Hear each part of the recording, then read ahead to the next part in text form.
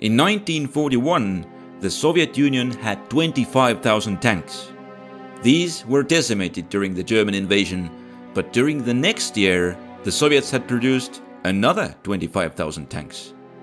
The German operations that year were less impressive and could destroy only part of them. By the winter of 1942, the Soviets had enough tanks for a large counter-offensive. A big thanks to Paradox Interactive, who I'm collaborating with on this video. They just released a new expansion for Hearts of Iron 4, a game which can be summed up as an interactive version of Eastory map videos. It is one of the best World War II games I've ever played. I'll talk more about it at the end of this video. The Soviet armor was organized into armored corps. These units would hit hard and move fast, but their tanks usually quickly broke down or were destroyed by the enemy and these units could only be used once during the offensive. The success of this offensive would be decided by how the Soviets would deploy their 29 armored corps. In November of 1942, the Soviets had half of their armored corps on the southern part of the front. Their mission was to cut off the German troops in the Caucasus. The operation would have three stages, each completed by a different group of units. First group would cut off and destroy the Axis forces around Stalingrad and secure the eastern flank of the Soviet advance. Then the second group would encircle and eliminate the Axis forces on the western flank. Finally, the third group would be brought in, advance to the sea and cut off the Germans in the Caucasus. Six armored corps were committed to the first phase of the operation. The attack was successful and the Soviet troops linked up and the Axis forces around Stalingrad were cut off. But not all went according to the plan. The German Stalingrad garrison was more numerous than expected and the Soviets could not make them surrender. Although encircling a large number of enemy soldiers was a good thing, it left the Soviet forces tied up around the city and they had to delay the next phase of the offensive. After several weeks, they were ready to continue. But the Germans had meanwhile gathered all of their available forces and attacked to re-establish land connection with Stalingrad. The Red Army directed all of its efforts to prevent the Germans linking up and allowing the encircled forces to escape. To divert the German forces from the Stalingrad attack, they began the second stage of the operation, the third group, which was originally to carry out the last phase, was sent to prevent the Germans linking up near Stalingrad. It turned out that the German attack was not that strong and the Soviets stopped it without much difficulty. At the same time, the Soviet western attack was a massive success. The armored corps cut off the Italian and Romanian forces who withdrew but suffered such a large number of casualties that they had to be removed from the front. A large gap emerged in the German lines. The Soviets could now attack towards the sea, but the forces that were to do that were already sent to Stalingrad. The Germans began to withdraw and the Soviet armored corps attempted to break through and reach the sea from this direction, but they could not fully breach the German front and depleted their tank strength without reaching their goal. With this, the German garrison in Stalingrad was doomed. It would continue to hold up for another month until the last soldiers were forced to surrender. With these offensives, the Axis on the Eastern Front had lost more than half a million men out of 3.5 million and now had a large gap in the front. To block this gap, they needed to free up forces by shortening the front line. They decided to withdraw from the Caucasus to get three mobile divisions.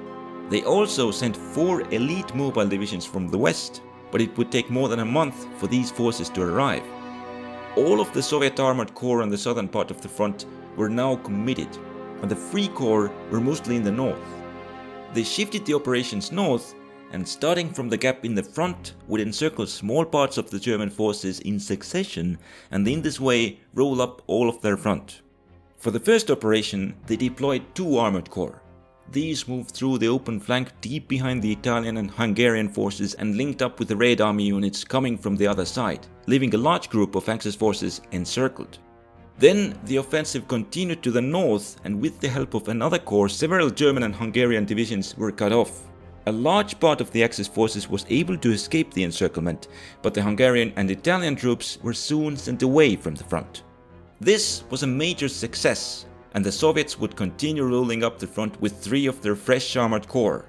The Germans wanted to prevent another encirclement at all costs.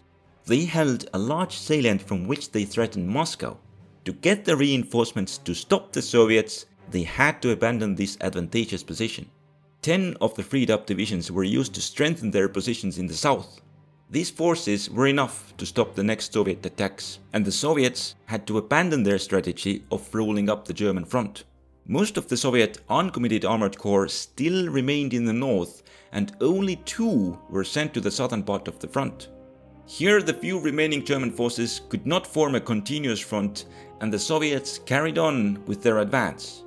In the center, they used some of their partially depleted armored corps to advance and take the important city of Kharkov.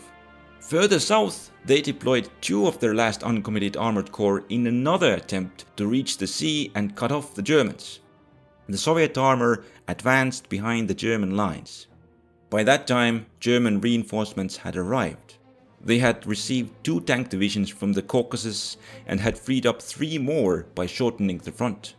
They launched a surprise attack and encircled and destroyed two of the Soviet armored corps.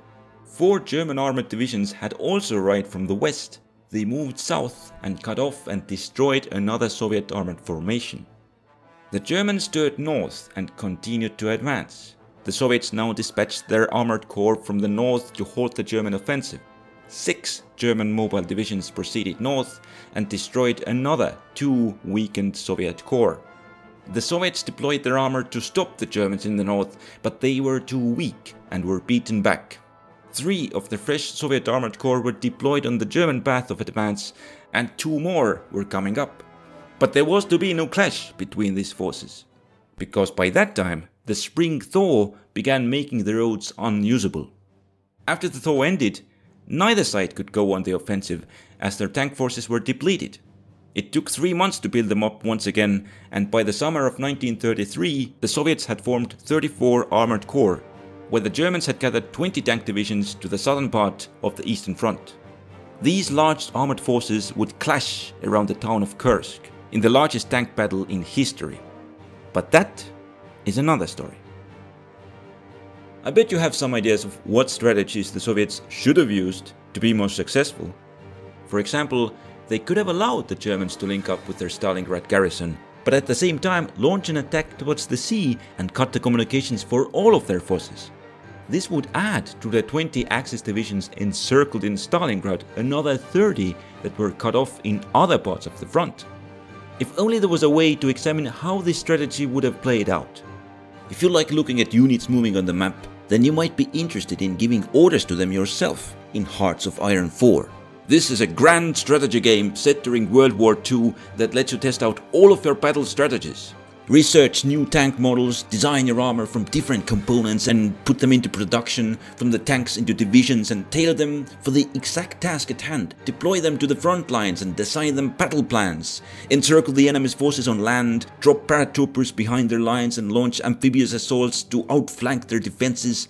The new DLC No Step Back makes the Eastern Front experience even better with new focus trees, the improved railroad supply system and the ability of giving your army a proper spirit. And last but not least, with No Step Back, you can now use my native country of Estonia to invade Scandinavia and force it to be recognized as a proper Nordic country.